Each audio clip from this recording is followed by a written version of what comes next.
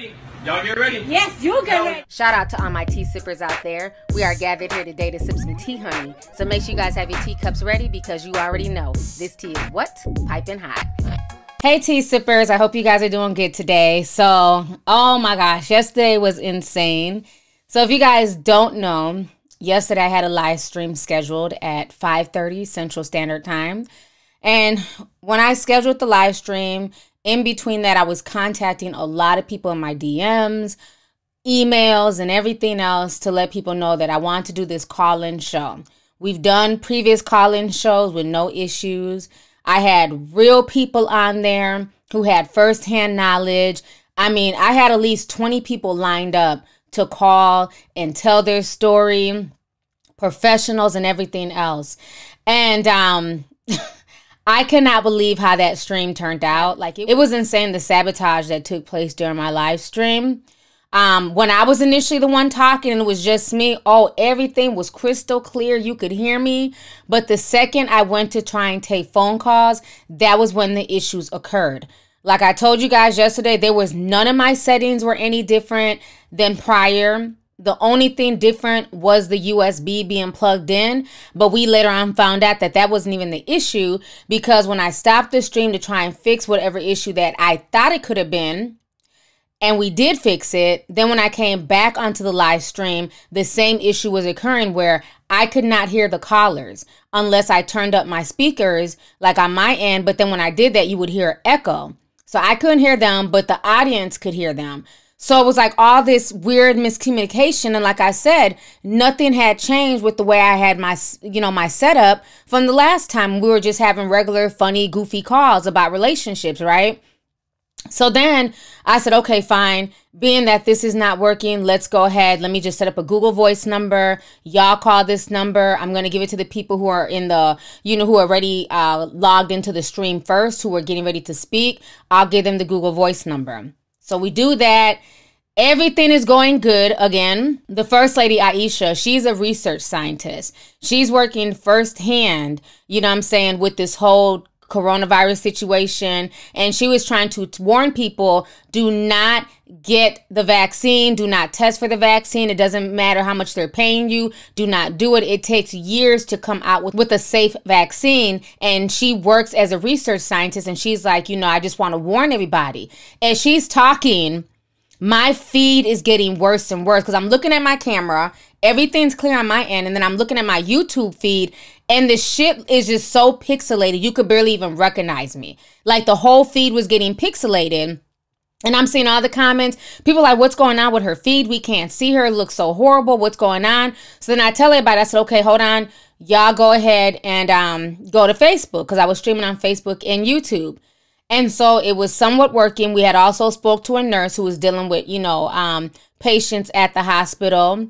Then I took my third call from a guy from New York, Chris, and he was talking about, you know, he works in the kitchen and just all the stuff that he's seeing going on in New York. And initially people could hear him. By the time we're like in the middle of talking and saying some real stuff about the city getting shut down, we start sounding robotic like where you could not even understand the audio. Now, granted, we've had issues with the live stream before, but even if like the video goes out or the video is not clear, you can still hear the audio. There's been a few times where I'm like, okay, well, the video's not working. Y'all can hear me. We're just going to turn this into a podcast. We couldn't even do that yesterday. It was so bad. Okay. And when I tell you, I was like emotionally and spiritually just drained. I was so sad, and everybody was calling me yesterday, DMing me like, T, it's gonna be okay. I mean, I have friends who literally watch every one of my live streams, and they're like, I've never seen nothing like that. Like I watch every single live. I'm on the notification squad. I've never seen your live pixelate like that. I've never seen your audio go out like that. You sound robotic. Like they are really trying to shut you down. Like when you're speaking the truth and you know, the people that I had coming onto the show, they were some heavy hitters. They were going to be, you know, telling y'all a lot of good information because I just don't want it, want y'all to hear from me. I want y'all to hear from them firsthand. So it just like, it really bothered me that, you know, that the stream was sabotaged, but people let me know that it wasn't your fault. You know, just come back when you feel like it. So I don't know when the next time I'm going to stream again. Um, I might just end up interviewing some of these people via my podcast and I'll let you guys know on my social media when the podcast is up. I just think at this point, YouTube does not really want any, you know, coronavirus videos. Like none of my videos uh, talking about the coronavirus have been monetized at all. None of the live streams. I have so many demonetized videos. It's insane. But I'm thankful for you guys because you guys keep me going and you guys have been, you know, just real supportive with the super chats and all that stuff. So that means a lot but it's it's getting crazy out here you know and i just wanted to do like just a regular video. Yesterday because i was so drained i ended up just going to sleep after i had posted some stuff. I went to bed and i woke up this morning. I heard from so many people that cardi b took to her live stream and she shouted me out. And when i tell you guys that meant a lot to me. Like it really did. Like i feel like sometimes all this stuff i'm doing all this work all this stuff i've been telling people for the past two to three months has just been in vain so for her to say this in front of 720,000 people last night that were watching her stream is insane to me. Like everybody apparently was up watching her but me. You know, my ass went to sleep cuz I was so drained. And um, you know, she basically just shouted me out, told people to go watch me, you know, talked about how I've been giving her and other people information, you know, just trying to wake people up. So I want you guys to go ahead and watch this. I'm going to come back with the rest of my commentary I just cannot help to panic. I'm just so fucking scared. And you want to know something? Let me tell you something. There is this YouTuber. There is this YouTuber. Her name is Lovely T. Lovely fucking T. Yo, I swear to God. Um, I swear, like three weeks ago she was talking about this coronavirus. And you know I, I heard i heard about the coronavirus. Like you see i see what's going on in wuhan china. But you know it seemed like it was really under control. And it just seemed like such a minor thing. But she kept saying she kept saying like this is gonna get big and everything. And i started asking her questions about it. And i'm like yeah yeah whatever. So then um you know chicago when i was in chicago and whatever more or less um from the club to the telly and All Star weekends, you know, I'm a little drunky drunk. I'm I, I I'm already about three Coronas in, and Offset he's a little slumpy slump. So I'm I'm scrolling through Instagram and I see the lovely T uploaded something about um locusts, them little bugs and stuff invading and invading um Africa and whatever, and how it's how it's spreading like in certain areas of Africa. And and like we was just like wow. Wow and, and, and mind you this was all-star weekend. So this was like I don't know like three weeks ago or, or uh, whatever the fuck. And and you know like that was the first and last time I heard people talking about these the locust thing. And all of a sudden people are talking about it now and it's like wow she she been talking about it and it looks like it's the end of the fucking world and i i respect people religion I respect whatever you believe in, but I believe in the Lord and I believe in Jesus Christ. I, my father is the father of Jesus Christ. Like that's who my, my father is. And I feel like he put me in this position to tell you because there's certain things that I don't want to fucking talk about that I like my conspiracy theories. I don't want to talk about it because, you know, I don't want nothing to do with that. But I could, what I do want to talk to you about is believe in Jesus. Believe in God. Pray in God. Um, God, please don't let, um,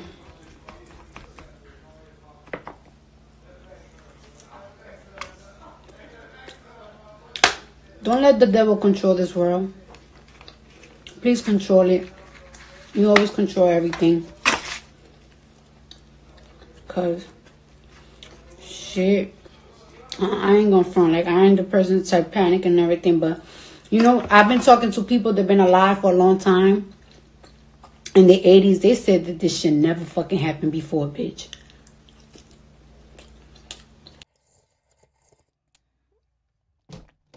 Honey. So that is proof Cardi B is definitely a tea sipper. So, you know, once again, that means a lot to me because so many people take from my content, watch my content, and then they take it to their major platforms and try to regurgitate my shit.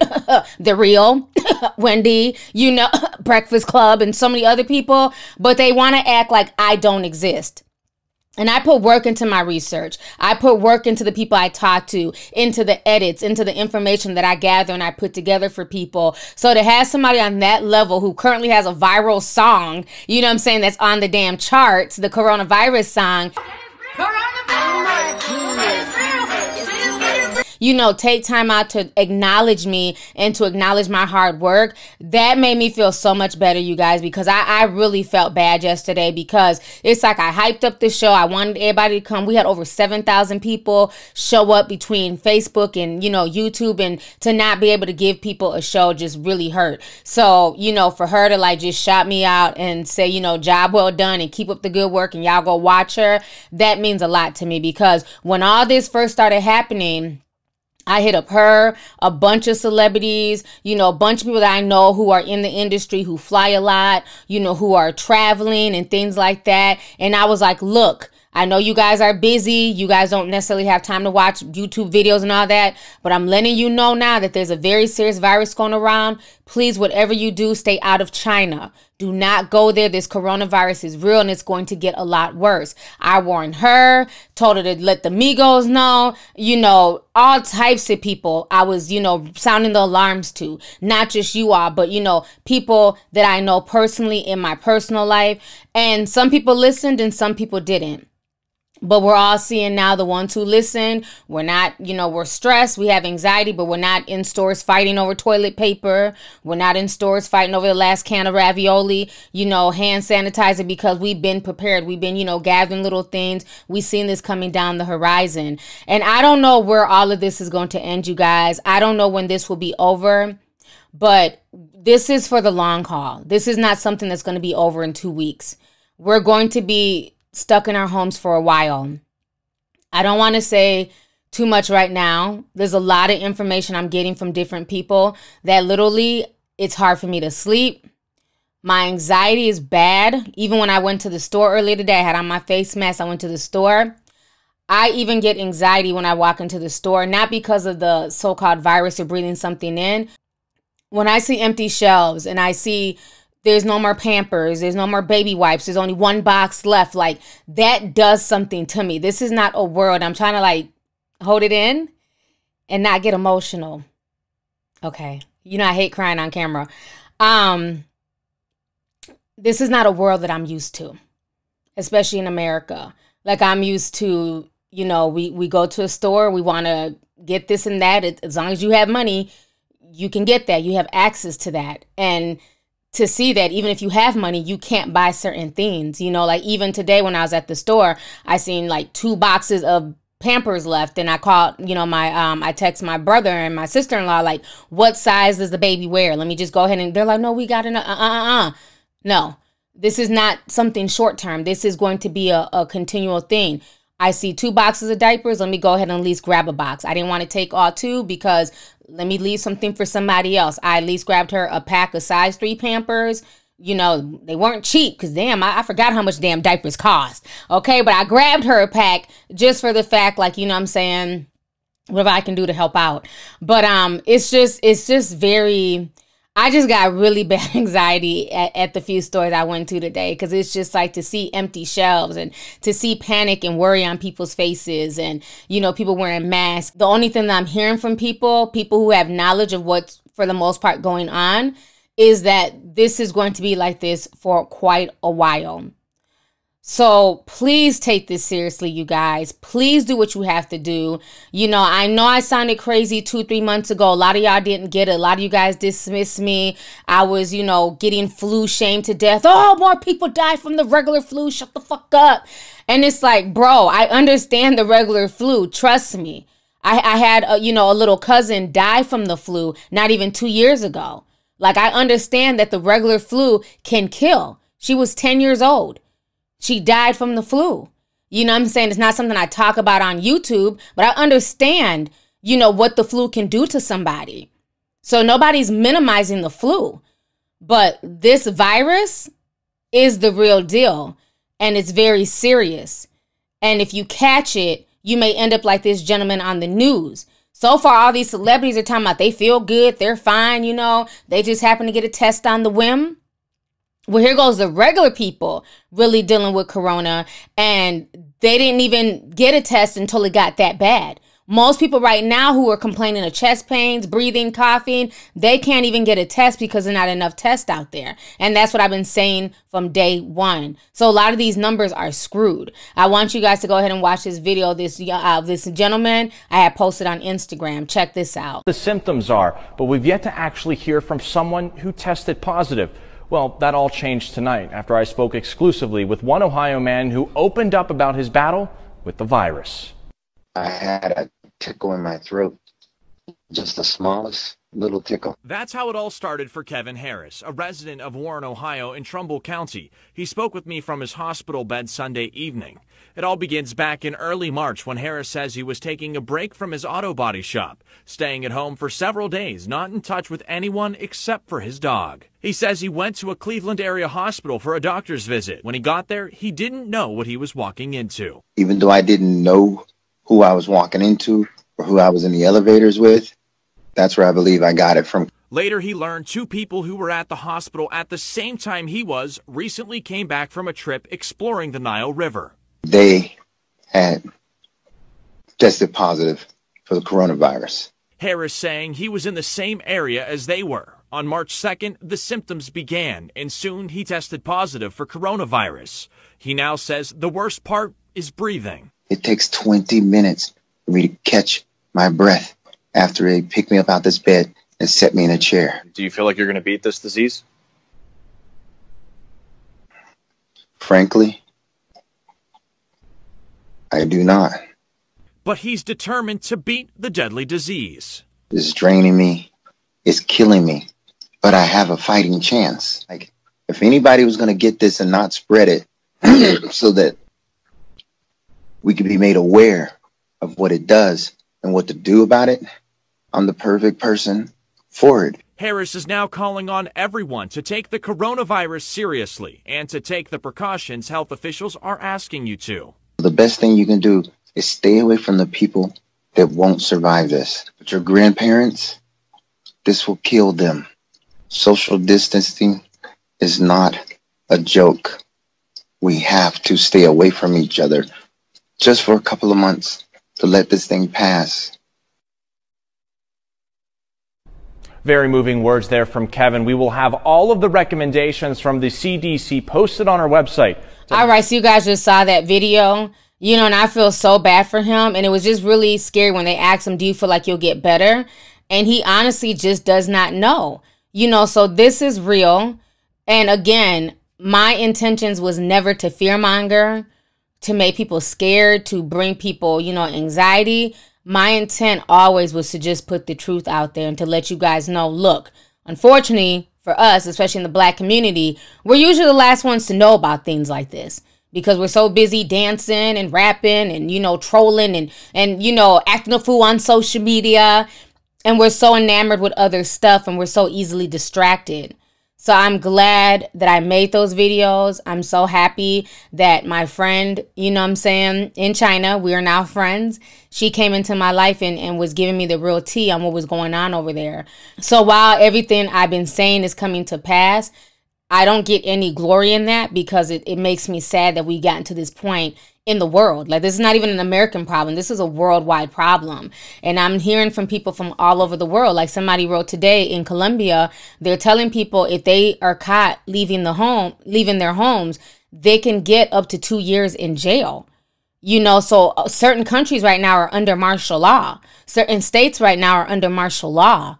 So it's it's real out here and people need to read up. There's only so much information I can say. There's only so much I can give. There's only so much information other YouTubers who are talking about this can say and give. It's your job at the end of the day to do your due diligence and to weed through the misinformation because there's plenty of misinformation out there too. So don't get too distracted by the BS. Make sure that you're focused on the stuff that's really affecting you in the here and now. Also today, if you guys do not know, there was an earthquake that hit Utah. And what's ironic about that is the Utah Jazz, they were one of the first teams in the NBA to you know to contract the coronavirus. You know, so it's just ironic that they were in the news for the corona and now they've been hit with a 5.7 magnitude earthquake this morning. So between this virus, which is a plague, between the locusts and the bats and you know earthquakes it's like what is going on in 2020 a lot of this stuff seems very very biblical to me a lot of it. And you know maybe you guys are not religious or you don't believe in god a god you know that's neither here nor there. But a lot of this stuff seems like some type of prophecy you know. So i would just suggest for people to you know hold your loved ones close. Tell folks that you love them. Let them know how you feel about them. Don't hold back and you know just stay positive stay calm. Don't panic. But do realize that it's going to get a lot worse before it gets better. And that's just me keeping it 100 so i'll talk to you guys later. Have a good day. Deuces